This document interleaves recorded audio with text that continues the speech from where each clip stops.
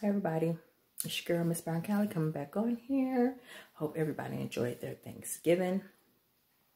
I had um seen the Red Table Talk with uh, Jada, our mom, and T.I. and Tiny. So I thought I would do a little review about it. We're to start off with the one they did concerning um concerning Deyjah was a part one and a part two. So we're going to start off with the part one. Um, um, in the part one, they talked about him discussing the hymen and stuff like that. Um, I felt like Jada was trying to help T.I. out. I felt she was trying to cover for him, trying to make him see, like, because I don't think he, I, I don't think he see anything wrong with what he was doing. In the interview he, he did on a little podcast when he was talking, he is the one who put the information out there. He said people misconstrued it at the Red Table Talk, that they really wasn't getting what he was saying, and it took blowing out of proportion. That's the information you put out there. That's why people were upset. It's stuff you stated. So, no, nobody misconstrued it. Um, by the way, little side note, um, there's a different surrounding because I'm still visiting my son. Uh, his birthday fell on Thanksgiving this year. He turned a little 30-30. Um, I'll insert a picture of us together for his birthday. Right there. Yeah, so, yeah, that's my oldest. So, anyway, back to the Red Table Talk. Uh, yeah, so, um, I don't get it with T.I. So, I, he doesn't see anything wrong with it. He feels like that's being a man you I did like how she gave the little intro, the little background of people, how they um gave their little uh, opinion about. To me, I think it's all about an image. My daughter cannot get pregnant at a young age. That's going to make me look like a bad parent. And I think that's what it comes back to. I need to control the situation. This is the best way to control it. And that's the bottom line. If that's what it takes to make sure nothing happens, then that's what it is. Because when it came up to, uh, I believe Jada asked, or what would have happened if she wasn't a virgin, then it was like, okay, so you made a grown-up decision, so you're going to have to be treated as grown-up. Whether birth control, bills, whatever. Tiny kind of did the little, like, roll the eye like you're doing too much. Um, but we're going to get into Tiny's reactions a little later in the second part, where she goes into depth about the marriage, about what goes on between her and T.I. and how she deals with him and why she deals with him the way she does. And you can see that this is who he is. This is his personality. Uh, T.I. is a very... Uh, T.I. has a very narcissistic person personality uh, you could tell that he wants everything to go his way, and that's that's it. You're gonna do what I say. You're gonna do what I want, or else you're not gonna be in this relationship. I have full control over everything. Kids, women, everything. That is a very. Mm, it's not a good way. Just I don't uh, I, I couldn't be in that type of relationship, put it like that. But, you know, uh, he says that it no longer exists and that he was not in exam room and stuff like that. But he was joking and he says he thought people knew him better than that. But how would people know that? How would anyone knows what goes on in your behind closed doors? No one would know that. No one would know what the intimate details between you and your children we would only know what we see on a TV screen or something like that. So there's no way even close people would know that. So, um, he has, and Will Smith, you know, greeted them when they came. And he declined from, he's like, no, I'm not going to be involved in this red table talk. Will knew that that was not the type of subject he was going to be willing to sit down and discuss. I don't blame Will. I would not have got involved in that either. But when we look at the uh, second part, which was uh, done today, Um, the second part, they talk about the marriage and how Tiny had filed for divorce and what led up to her filing for divorce and why she decided to not go forward with the divorce. Uh, I thought it was very interesting because when they've been together for so many years and when they got into the details of the marriage and they were talking about how when she kind of gave him like, you know, when he first went away, the first time to prison, you know, when he did the first uh, 11 months or whatever. And she talked about, you know, I waited for you this time. I've been good, you know, loyal, faithful. He he got out and he got married. When he went away the second time, that's when when he came back. That's when everything changed, and it was because her outlook on the marriage changed. Her thing was, you know, before I went along with everything he said. He said, do this, you want to do that, whatever. She agreed to everything. Be once he came back, the second time she was like, no, we're going to do things a little differently. Uh, she was not so agreeing. She was not moving the same way. And he no longer wanted that. He Well, I should not say he no longer wanted that. Because his thing was like, well, I told you this is what I wanted from the beginning. You chose to change who you were. You chose to go along with it if because you want to be with me. And this is what women need to learn. This is the learning point to take away the lesson, whatever you want to call it. My grandmother always told me this, even when, when I was a little teenager, a little girl. Number one, she says you always keep you a job. Always make your own money. When you do not make your own money, you don't have a voice in the relationship.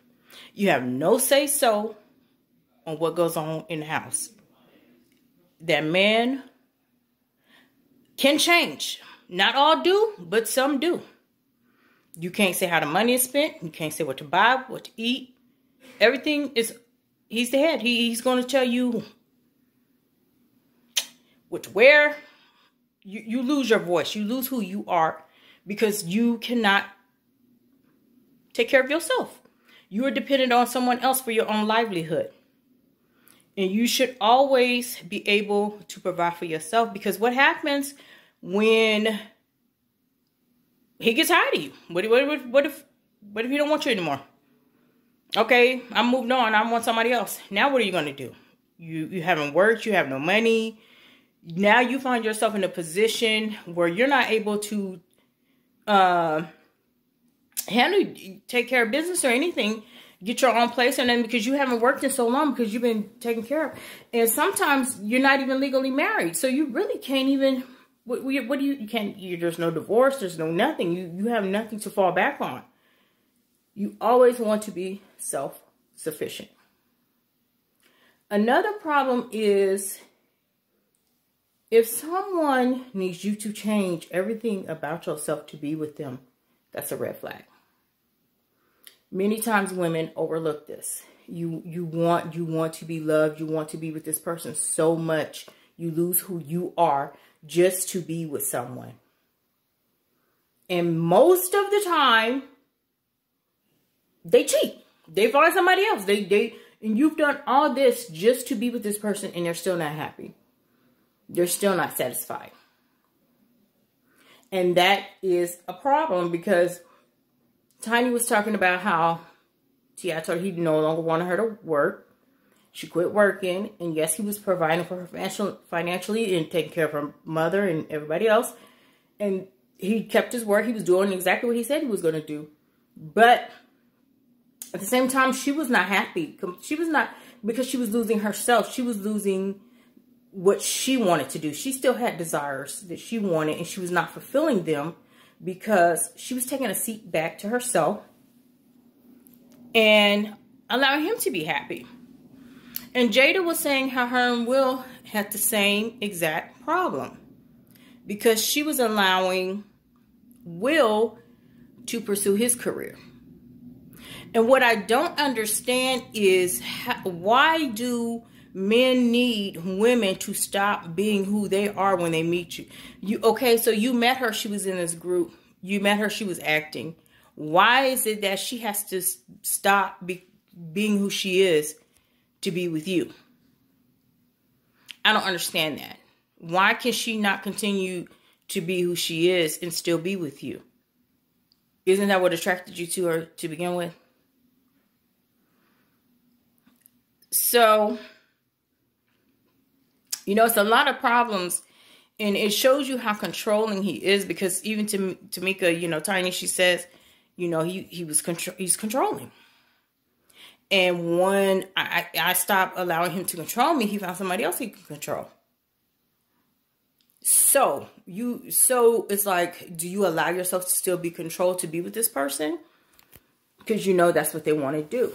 And that's what happens when you get with narcissistic people because they because their egos are so I never do anything wrong. And that's what the whole thing is with Deyjah. I didn't do anything wrong in this situation because I am the father. It is my job to protect her at all means necessary. If that means protecting her hymen from these little boys who are only going to hurt her and break her heart and do all this snap, then okay, that's it.